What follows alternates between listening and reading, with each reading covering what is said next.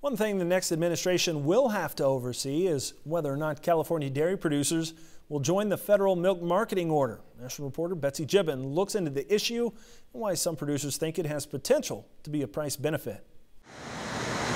California leads the nation in milk production, but its producers wonder how long it will last. I think we're we're going to turn the corner soon here in California to where we're going to be short of milk. That's due to a number of issues from overtime pay laws to water to consolidation and even dairy investments in other states. Many other parts of the country are growing in milk supply, and I think that's uh, uh, directly related to the lower milk prices that we're, we're seeing. It's just people aren't motivated to make milk here with milk here if you're uh, if you're not getting paid uh, you know, the cost of production are better. Those payments pushed some dairy producers to make a change. USDA held hearings in the state last year to see if California producers want to join the federal milk marketing order. Many states are part of the order, which is designed to make sure producers get a reasonable minimum price for milk from its processors.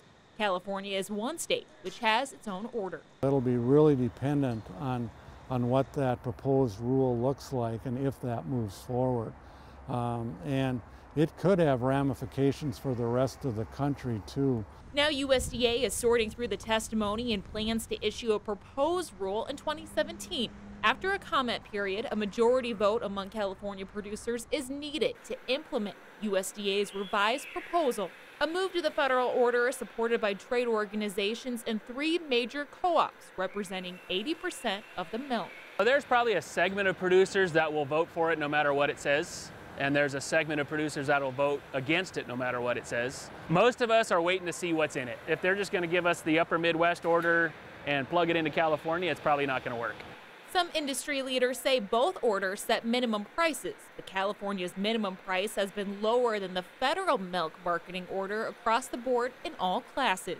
The California price for the last uh, quite a few years have been has been under the federal order, um, anywhere from you know, 25 cents to $2 under the federal order. And uh, I'm not too much to complain about milk prices, but uh, there gets to be a point when you think, well, why is milk so much cheaper here than in other parts of the country? You know, why, why is that? A big change.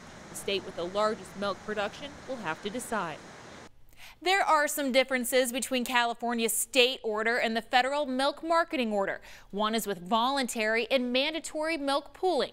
Also, many California producers have made investments in their quota system. Some producers say they may vote against joining the order if the quota system is changed or eliminated in the proposal. All right, thanks, Betsy. Land O'Lakes, California Dairies Incorporated, and Dairy Farmers of America are the co-op supportive of joining the order and petition to join.